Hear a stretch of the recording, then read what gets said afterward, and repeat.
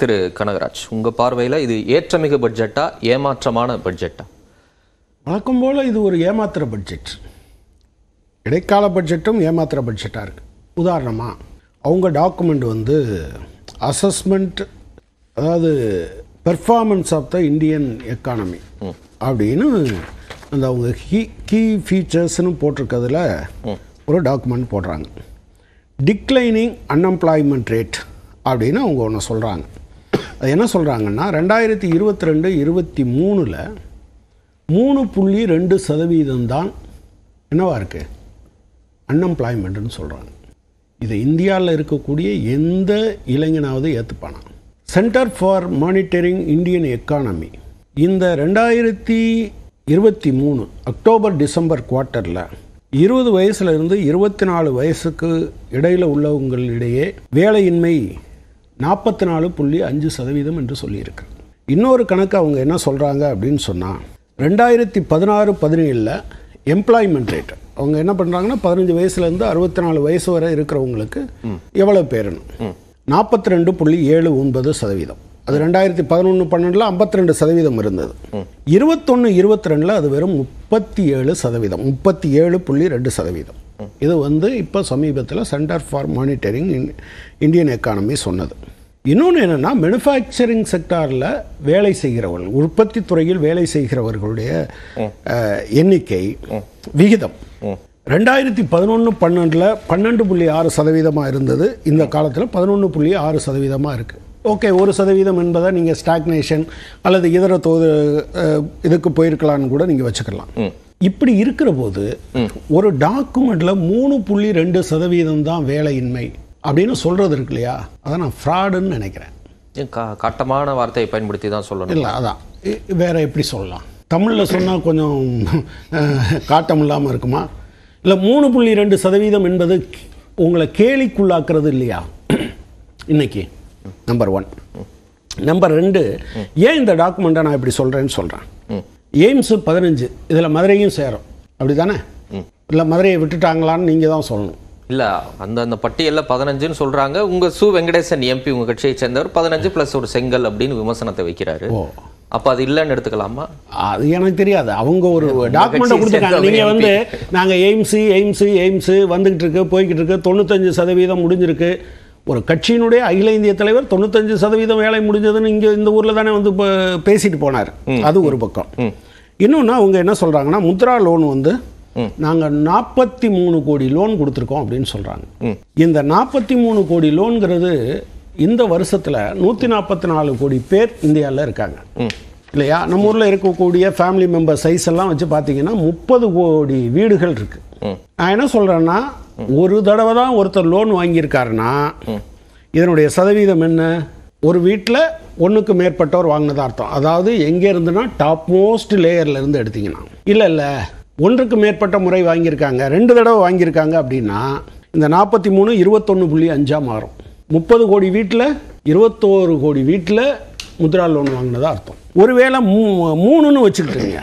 இந்தியாவில் இருக்கிற வீடுகளில் கிட்டத்தட்ட ஃபிஃப்டி பர்சன்ட் நாற்பத்தெட்டு சதவீதம் வாங்கினதாக அர்த்தம். பதினாலு கோடி பேர் அல்லது பதினாலு கோடி குடும்பங்களில் வாங்கியதாக அர்த்தம். ஒவ்வொரு மூணு வீட்டுக்கும் ஒரு வீட்டில் லோன் வாங்கினதாக அர்த்தம். ஒன்று இது ஸ்கேமாக இருக்கணும். இல்லைன்னா இது தவறானதாக இருக்கணும். நீங்கள் சொல்லுங்கள் தமிழ்நாட்டில் உங்கள் ஊரில் நூறு வீடு இருந்தால் அதில் ஒரு முப்பது வீட்டில் லோன் வாங்கியிருக்காங்களா? முத்ரா லோன் அப்படி இருந்தால் தானே இது சாத்தியம். இது அவங்க டாக்குமெண்ட்டில் இருக்குது சில ஆண்டுகளா இருக்குமோ? ஆமாம் ஆமாம் ஒட்டுமொத்தமாகவே சொல்கிறேன் ஆண்டுகள்னா ஒரு ஆண்டுக்கு ஏற்ற கொஞ்சம் குறையும்ல. இல்லை அதுதான் அதனால தான் அவங்க எங்கேயுமே நம்பரை சொல்லல நான் ஒரு ஆண்டுக்குன்னு சொல்லல இது ஒரே ஆளு ரெண்டு தடவை முத்ரா திட்டத்தின் கீழ் நாற்பத்தி மூன்று கோடி முறை வங்கிக் கடன்கள் வழங்கப்பட்டுள்ளன. வழங்கப்பட்டுள்ளன. அதைத்தான் நான் கேட்கிறேன். நாற்பத்தி மூணு கோடி முறைனே நான் வச்சுக்கிறேன். அதுல ஒரு ஆளு அதிகபட்சமா நாலு முறை வாங்கினா கூட மூணுல ஒரு வீட்டுல வாங்கியிருக்கணுங்க. இதுல நான் என்ன நினைக்கிறேன் என்ன சொல்றேன்னா டாப் மோஸ்ட் இந்தியாவினுடைய அதானி அம்பானி டாட்டா பிர்லா அவங்க குடும்பத்திலலாம் வாங்கிக்கிட்டதாக வச்சுக்கிட்டா மூணில் வருமா இது சாத்தியமா? இது இது இது சாத்தியமான்னு கேட்குறேன் ஒன்று ஒட்டுமொத்தமா இதை எதிர்மறை கண் கொண்டு நம்ம பாக்குறோம் இல்லை பல நேர்மறையா என்கிட்ட சொல்லுங்க. இல்ல அவங்க பட்டியலிட்டதே நான் படிக்கிறேன். இப்ப ஒண்ணும் இல்ல. தொழில்நுட்பம் சார்ந்த இளைஞர்களுக்கு இது ஒரு பொற்காலம். தொழில்நுட்பம் சார்ந்து தொழில் புத்தாக்க திட்டங்களுக்கு ஒரு லட்சம் கோடி ரூபாய் நிதி ஒதுக்கீடு. நீங்க அதெல்லாம் ஐம்பது சதவீத வருவாய் இந்திய மக்களுக்கு கடந்த பத்து ஆண்டுகள்ல அதிகரிச்சிருக்கு. ஐந்து ஆண்டுகள்ல நேரடி வரி இல்ல அவங்க சொல்லியிருக்காங்க. நேரடி வரி வருவாய் மும்மடங்கு அதிகரிச்சிருக்கு. அடுத்த ஐந்து ஆண்டுகள்ல இந்தியா எப்படியான வளர்ச்சி அடைய போகுது இன்னைக்கு 58 நிமிஷம் பட்ஜெட் படிச்சாங்க. ஏறக்குறைய ஒரு முப்பத்தைந்து நாற்பது நிமிடங்கள் இந்த அரசு செய்திருக்கக்கூடிய சாதனைகள் அப்படின்னு சொல்லி பல விஷயங்கள் அவங்க? நீ எனக்கு இதை எப்படி நேர்மறையா பார்க்கறது நீங்க இல்ல சொல்லுங்க அது குறைகள் இருக்கலாம். இப்ப திரு சோமவளிப்பன் சொன்னார்ல எல்லா எந்த விதமான பட்ஜெட்டும் எல்லா எதிர்பார்ப்பையும் பூர்த்தி நான் வந்து என்ன சொல்றேன்னா நீங்க அதை எப்படி வேணாலும் இன்டர்பிரேட் பண்ணுங்க. எங்களை சந்தேகப்படுறாரு இந்த எண் வந்து எங்கேயாவது இத்தனை நபர்களுக்கு அப்படிங்கிறத என்னைக்காவது சொல்லியிருக்காங்களான்னு பாருங்க. சொல்ல மாட்டாங்க. சரி அது ஒரு பக்கத்துல இருக்கட்டும். நீங்க வறுமையிலேருந்து மீட்டுட்டேன்னு சொல்றீங்கல்ல. 25 கோடி பேரை பத்து ஆண்டுகள்ல அப்ப ஏன் இந்த ஹங்கர் இண்டெக்ஸ்ல அதிகமா போய்க்கிட்டே இருக்கு? நீங்க நூத்தி இருபத்தஞ்சு நாடுகள் பட்டியலில் நூத்தி பதினோராவது இடத்தில் இது வந்து ஹங்கர் இண்டெக்ஸ்ல இப்ப சமீபத்துல வந்த ஒரு இது என்ன சொல்லுது. ஒரு சர்வே குஜராத்தில் மட்டும் ஒன் தேர்ட் மூன்றில் ஒரு பகுதி மக்கள் வறுமை கோட்டு கீழே இருக்காங்க. அவங்க வறுமை கோடுன்னு என்ன சொல்கிறாங்கன்னா கிராமப்புறத்தில் இருபத்தாறு ரூபா ஒரு நாளைக்கு இருபத்தாறு ரூபாயில் வாழ்க்கை நடத்துகிறவங்க நகர்ப்புறமாக இருந்தால் முப்பத்தி ரெண்டு ரூபாயில் வாழ்க்கை நடத்துகிறவங்க இவங்களெல்லாம் நீங்கள் தூக்கி விட்டீங்களாக்கும் நீங்கள் எந்த மாடல்னு சொல்கிறீங்களோ அங்கே ஒன் தேர்டு வந்து வறுமை கோட்டுக்கு கீழே இருக்காங்க. அதை எப்படின்னு நீங்கள் தான் சொல்லணும். அடுத்து வந்து இன்னொன்று சொல்லியிருக்காங்க. நாங்கள் சமூக நீதியை பின்பற்றியவர்கள். என்ன சமூக நீதி? செயல்படுத்திய அரசுன்னு சொல்லியிருக்காங்க. இப்போ தானே சண்டை போட்டோம். யூஜிசி என்ன சொல்லுது? எஸ்சி எஸ்டி ஓபிசி இதில் உயர்கல்வி நிலையங்களில் இவங்க வேக்கன்சி ஃபில்லப் பண்ணாமல் இருந்தால் அது எல்லாத்தையும் ஜெனரல் கேட்டகரிக்கு கொண்டு போகும்னு சொல்லுது. நான் என்ன சொல்கிறேன் இது இது சமூக நீதியை நீங்கள் நீங்கள் நிலைநாட்டுறதா? நீங்கள் தான் சொல்லணும் எனக்கு. நம்பர் ரெண்டு நீங்கள் தமிழ்நாட்டில் இருந்து மாநிலங்களில் இருந்து பெற்றுக்கொண்ட பதினைந்து சதவீதம் எம்பிபிஎஸ் இடங்களுக்கு நீங்கள் வந்து ஓபிசிக்கு மட்டும் ரிசர்வேஷன் இல்லைன்னு சொன்னீங்க. இது சமூக நீதியை நிலைநாட்டுறதா? நீங்கள் சச்சார் கமிட்டி அறிக்கை என்ன சொல்லுச்சுன்னா நீங்கள் வந்து சிறுபான்மையின மாணவர்கள் கல்வி கற்கவே அவங்க பல இடங்களில் இல்லை. எனவே நீங்கள் ப்ரீ மெட்ரிக் ஸ்காலர்ஷிப்பு கொடுங்க இன்ட்ரடியூஸ் பண்ணுங்கன்னு சொல்லுச்சு. ஒரு மாணவனுக்கு ஒன்றாம் கிளாஸில் இன்னும் மாதம் நூறுரூவா கொடுத்தாங்க. ப்ரீமெட்ரிக் ஸ்காலர்ஷிப்பை நிறுத்திட்டீங்க. பேகம் ஹசரத் மகால் ஸ்காலர்ஷிப்பு பெண்களுக்கு முப்பத்தி மூணு சதவீதம். அதை நிப்பாட்டிட்டீங்க. மௌலானா அபுல் கலாம் ஆசாத் நேஷனல் ஃபெல்லோஷிப்பை நிறுத்திட்டீங்க. வெளிநாட்டில் படிக்கிற சிறுபான்மை மாணவர்களுக்கான அந்த லோனுக்கு வட்டியில் மானியம் கொடுக்குறத நிறுத்திட்டீங்க. இது சமூக நீதிக்குள்ளே வருமா? சரி வேற மாதிரி பார்க்கலாமா இப்ப சொல்றேன். இப்ப சமூக நீதி இடபிள்யூஎஸ் முற்பட்ட வகுப்பினருக்காக அவங்களுக்கான ஒரு இடஒதுக்கீடு. இன்னொரு பக்கம் பட்டியலினத்தை சேர்ந்த ராம்நாத் கோவிந்தை குடியரசுத் தலைவராக்குனது.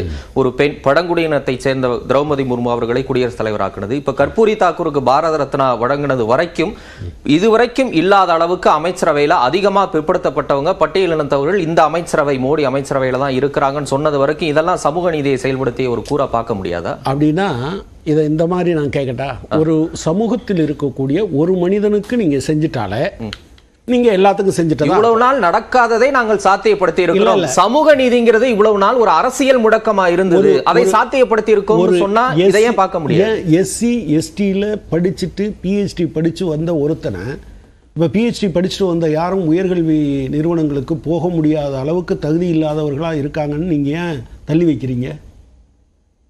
ஆளே கிடைக்கலையா உங்களுக்கு? சரி அப்படி நீங்கள் நம்பர் ஒன் ஆளாக கொண்டு வந்தவங்க எல்லாரும் இந்தியாவில் நம்பர் ஒன் டீச்சராக மாறிட்டாங்களா? ஏன் அதை இப்போ கொண்டு போய் நீங்கள் வந்து ஒரு ராம்நாத் கோவிந்துக்கு நான் இதை கொடுத்துட்டேன்ப்பா. ஆனால் இந்தியாவில் இருக்கக்கூடிய பதினைந்து சதவீதம் தலித்துகளில் படிச்சுட்டு வந்திருக்கக்கூடிய உயர்கல்வி நிறுவனங்களுக்கு போகக்கூடிய வாய்ப்பை நான் அதனால் தடுத்துருவேன்னு நீங்கள் சொல்லுவீங்களா? எஸ்சி எஸ்டி சப்ளானுக்கு கொடுக்கக்கூடிய காசை நீங்கள் வந்து குறை குறைச்சிருவீங்களா? குக்கி இனத்தை நீங்கள் வந்து திரௌபதி முர்முவை நீங்கள் பிரசிடெண்ட் ஆக்கிட்டீங்கன்னா குக்கி இனத்தை அதே பட்டியல் இனத்தை சேர்ந்த குக்கி மக்களை கொள்றதுக்கு உங்களுக்கு அதிகாரம் வந்துடுதா மைண்டில் வச்சுக்கோங்க. மே மாதம் மூணாம் தேதியிலிருந்து எட்டு மாதம் முடிஞ்சு போச்சு. இந்த எட்டு மாதமும் அறுபதாயிரம் பேர் அந்த மாநிலத்திலும் பத்தாயிரம் பேர் பக்கத்தில் இருக்க மிசோரம்லையும் எங்கே இருக்காங்க? நிவாரண முகாம்களில் இருக்காங்க. வடகிழக்கு மாநிலங்கள்ல தீவிரவாதம் குறைச்சிருக்கு குறைச்சிருக்கோம் அதனால சுற்றுலாத்துறை அங்க மேம்பட்டிருக்குன்னு இன்னைக்கு சொல்லி இருக்கிறாங்க இல்லை நான் என்ன கேட்குறேன்னா அவங்க தான் நிறையா சொல்லுவாங்களே நான் தான் உங்ககிட்ட கேட்குறேன் நீங்கள் சொல்லுங்கள் அவங்க சொல்கிறது உண்மைனா மணிப்பூரில் இல்லைப்பா ஆல் இஸ் வெல் நீங்கள் சொல்கிறீங்களா நான் என்ன கேட்குறேன்னா அதில் அப்படி இருந்ததுனால தான் மிசோரமில் தேர்தல் நடக்கும்போது கூட்டணி கட்சியே மோடியோட ஸ்டேஜை ஷேர் பண்ணுற விஷயமே இல்லைன்னு சொல்கிறாங்க. எனவே நீங்கள் என்ன சொல்கிறீங்கங்கிறது இல்லை. அகப்பையில் முழுமையாக இருக்குன்னா சொல்லாதீங்க. ஏன் பிளேட்டில் போடும்போது நீங்கள் ஒரு பருக்கை கூட போடலைன்னு சொல்கிறேன் சரி நான் முதல்